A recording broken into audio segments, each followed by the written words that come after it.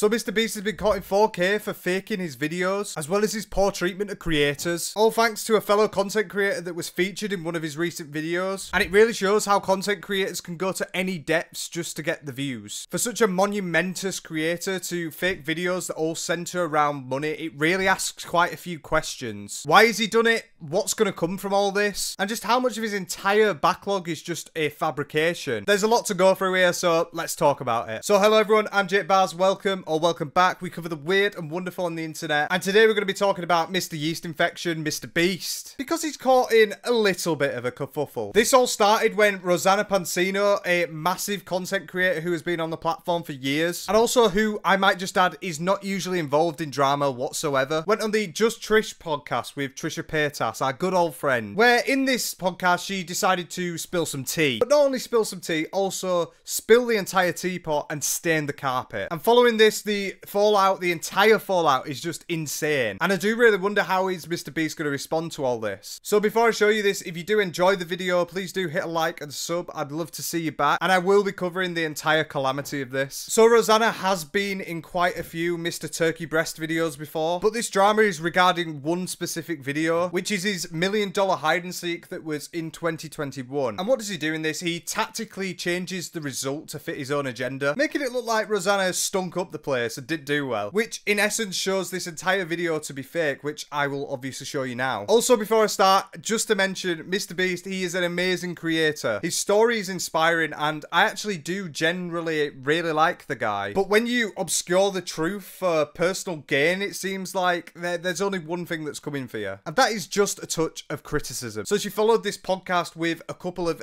incredible statements, as well as appearing on the H3 podcast, which I'm going to show you. But first, let me show you the inception of this. How, how did this all start? This is interesting. So you were on three of Mr. Beast Challenge, which is like you're kind of that girl that gets involved in all these shows. Like you were on Escape the Night twice. You're doing all these shows. Uh, and then when I got invited to do the third one, it was at the SoFi Stadium, so it was the first one in person. And we did like a major hide and seek. It was over 24 hours. We were up for, I think I was up over 30 hours straight. I know she's not getting paid and it's for charity, but uh, from from the sound of what she's saying, she didn't expect it to be that long. And why why would you have to work 24 hours in a row? Like that is actually illegal. But let, let's not get into that. It's just a bit crazy that she was expected to show up for this entire thing, and as you'll see, it only gets worse. Nothing sounds more fun to me than spending 24 hours without a break. The thing that I didn't understand, and I'm still confused today, and it hurt my feelings, is like when Mr. Beast talks about these creator games and challenges, he said, you know, it's all in good fun.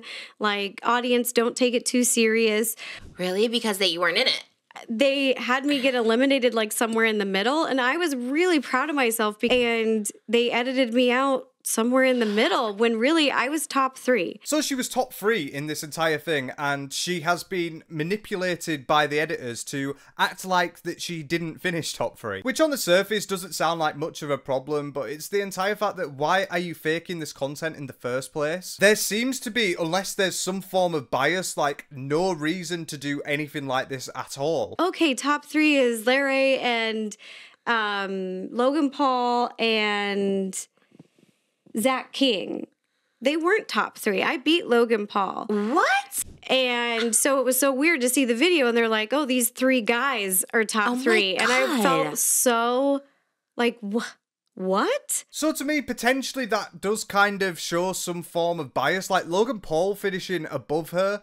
Uh, like back then, he he was he, he was Mr. Forrest back then actually, so he wasn't in good rep. But he was obviously this really notable creator that has been around for so long, and she has as well. But she's probably not as important to the Mr. Beast videos. Everyone knows Logan Paul, but not everyone knows Rosanna. Is all I'm saying. But to be placed in a place which is behind everyone else, to be manipulated and cut out of half of the entire video when you have worked your ass off and been there the entire time.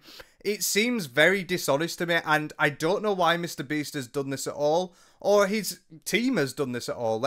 I don't really know who is in direction of this, but obviously Mr. Beast will watch every video back. So surely he would have realised. I do really think this entire thing started over literally the fact that, oh, well, we can get more clicks off of this person staying in longer. We'll get more engagement, so let's do that. And faking a video like this that revolves around money, whether it's charity or not, just to make it seem like you you've got a heads up on someone, it's so wrong. And I think Rosanna is definitely in the right to be able to talk about this. Like, it's been two years and she has contacted him before and not had anything back. So it makes sense. And it does highlight his Mr. Beast videos as some sort of like weird concoction. At every video fake, it's every video gotta be like this. And as you'll see later, Mr. Beast's responses are very weird on this. Rosanna definitely didn't want to let this slide, and I mean, it makes sense, and if you've said it once, now you've got to say it the entire time now, so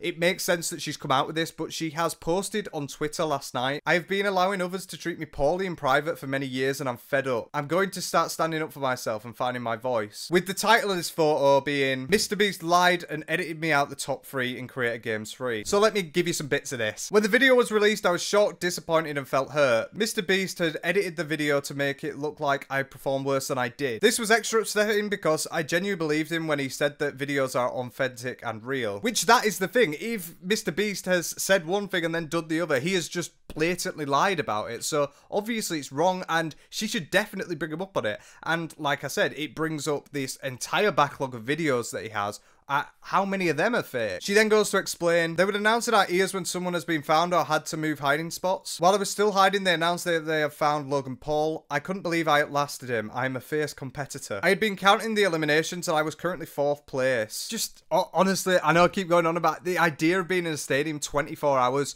with uh, earpiecing just waiting for people to get, get done. It, it, oh, that, that would do my head in. I don't think I'm built for a Mr. Beast video. But I mean, I guess it wouldn't matter because I'd be edited out anyway. I'm definitely no Logan Paul. I thought he'd place fourth, however, Larry had fallen asleep and hadn't moved in a long time, so he was disqualified. This meant I got third place. I placed first, Quackity placed second, and Zach placed first. This is exactly what happened. Despite Jimmy editing the only female out in the top three, I was proud of what I achieved. And I mean, I'm not going to debate the sexism part. I'm not going to uh, go out there and say that this is purely because she was a woman. I don't think that was. But I just can't understand how she has ended up being third place here and she has been edited out for some way or another so that Logan Paul can fit into this. I honestly do think this has something to do with the fact of his massive stature, uh, especially at the time he'd reinvented himself uh, to be a bigger loser that was getting more views. So it makes sense why the editors might want to keep him in. And you need to remember with these massive videos, you've got like loads of different camera angles, you've got loads of people recording. So it can be very easy to be cut out and misplaced, all to suit the uh, ultimate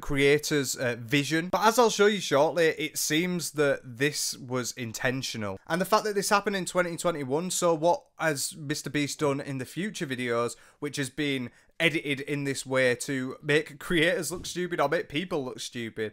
Because, yeah, Rosanna, uh, she wants the attention that she deserves from this. And although people are going to bash her off as like a clout chaser, just trying to get as much attention to herself as possible, that is definitely not the case. This really opens up the idea that Mr. Beast's videos are literally fake. Now, this one has literally been edited to be fake. So how many more? And especially when he has already said to Rosanna that these videos are authentic and real, why would he go back on his word to make himself get someone bigger in the content creation space on like a virality level to be higher up than her. Uh, the only woman, as she says. The entire situation just stinks. So yeah, before people go and call her a clout chaser, just just think about the entire context around this. So also on the same day, she came out on H3's podcast and shed some light on the entire situation, just adding a little bit more context. I found out when it went public, and he didn't have the decency to contact me privately and tell me, hey, just to let you know, to make the video more entertaining, we cut you out. Mm-hmm. He, he didn't give me a heads up. That's a massive thing for me because, yeah, it, this has happened, but she found out when the video was dropped. Not the fact that she was told before. It's kind of like a, oh, you'll watch and you'll find out. And that to me is quite snarky and snide. It makes no sense for him to do this, really, at all. Like, what are you trying to prove by being silent on the fact that you've done this. Especially when Rosanna's such a likable person. Maybe potentially they thought that because she is so likable and she's so happy-go-lucky and she doesn't cause this drama, they might be able to get away with doing this. And that obviously is so many levels of wrong because you are uh, choosing the fact that she is nice to act on morality. And what does that say about the team that you have around you? And what does that say about you, Jimmy, as a person? Why why would you do this and then not say anything about it? And just wait for her to wake up one day, watch your entire video and be appalled. Or be Logan appalled. Sorry, sorry, sorry. He recorded voiceover and he said a blatant lie. So the voiceover in the video at the very end part says, I found Logan Paul literally one minute before Zach King. Mm. Oh, so he's wait. Yeah. So he's That trying to even make it sound like he did that, second that place. didn't even no Mm. that that never happened. Uh logan paul was found while i was hiding um hours Dude, that's mm-hmm. so found lame. hours Yeah. before Zach There's King. literally no So reason for him that to do that. That is intentional that's Yeah. that's not that's not a oopsies that was intentional And that's the entire point. It's clearly intentionally edited to be this way to fit the narrative. He's literally just found Logan Paul when she already knows that Logan Paul is being found through the earpiece, so it's definitely fake. And the idea that she's even somewhat grandstanding, she's not at all. This is just like it, it's so wrong in the creator industry. If you're saying that everything is authentic and real, for it to not be, well, that that puts your not only your content into question, but your entire character. You are essentially a liar. And with something like this, this thing that's for charity and for a good cause, and it's enjoyable for everyone. Why would you? What, what is the need to even lie? You still got to get good retention and engagement. It's a big long video with loads of multiple camera angles, but like, what? What is the point? There's just no need for this. It's it's so wrong. And furthering this, this is only bolstered by the text messages that went between Rosanna and Mr. Beast at the time, which were also shown on the H3 podcast, but also posted on Twitter by herself. You can definitely see the distaste in her mouth around this entire thing. And Mr. Beast is being very odd with it. I will just note that exposing messages of private messages, that that's not really it's not really in the rule book for influencers. You shouldn't be doing that, especially when it's from just yesterday. There is, uh, it's it's just wrong. But I mean, she's exposed them now, so I'm gonna have to show her. So Mr. Beast actually DMs her first. What's your phone number? I'd love to call and see and figure out what has happened. With that, Rosanna explains the situation, and Mr. Beast then responds with, "Obviously, I wasn't trying to make you look bad. Just give me a time and we'll talk about it." Obviously, he doesn't want this leaking because well, it's happened. She then asks, Why would you lie? Why would you say this in the video? I outlasted Logan and I was proud of what I have accomplished. I don't know, been a while. Let's call and figure it out. To me, Mr. Beast here just seems like he's trying to be happy go lucky, and that's not the kind of situation you need to be in. You've just been exposed for faking content that is authentic and real, and to kind of pitter patter around the entire situation and bash it off, that is so wrong to me. But at the same time, Rosanna could have taken the phone call. She then says, I'll give you some time to look into it and remember, and then we can discuss. I'm more than happy to review all the footage to help show the timeline of events. Feel free to send them over to my team. Let me know. And quite frankly, she will never get that footage. She, she, she won't get that footage. That has been wiped off the face of the hard drive. But the, I, I don't know, it's been a while. Like, just don't bat it off. Don't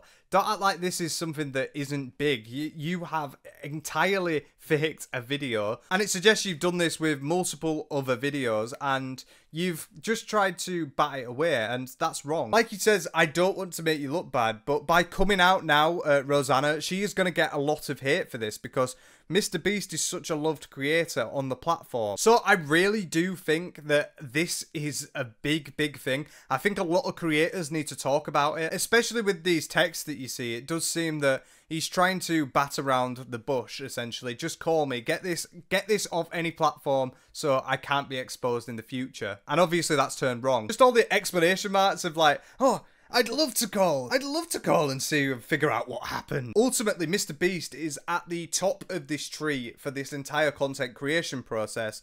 He will watch every video like he says he does, or maybe he doesn't actually watch all these videos. Obviously, with the authentic and real, paints him as a liar. So what can we actually trust with him around this? In my opinion, I find it wrong for Mr. Beast to fake this video full stop. They're not really going to gain anything apart from increased engagement around this potentially. And also knocking off the only woman creator that came on podiums is obviously very bad. I don't know about you, but for me, I've always thought that Mr. Beast videos, while extravagant as they get, they are always real and authentic. That is definitely something that I would say about them. So for this entire thing to blow up and show that that's not the case for this one specific video, that means that the entire backlog is in question. How many times has he done this with other creators or other people or on his philanthropy videos? How many times has someone been snidely cut out of a video just to suit the narrative? And ultimately, why does Mr. Beast do this in the first place? I really think he needs to come out with a statement that will bash either bash off these claims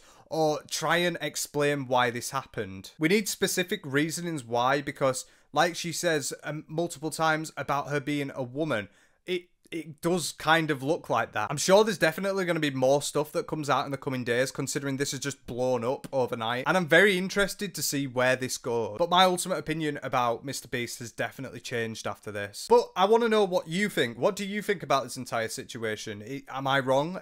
Is Mr. Beast right all along? Is Rosanna just trying to get clout? Which I don't think she is please do let me know. But I hope you enjoyed the vid. If you did, please like and subscribe. I'd love to see you back, and I will see you in the next one. So yeah, take care.